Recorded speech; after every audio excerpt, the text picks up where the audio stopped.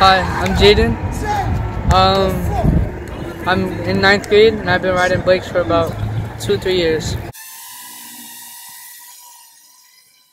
Okay.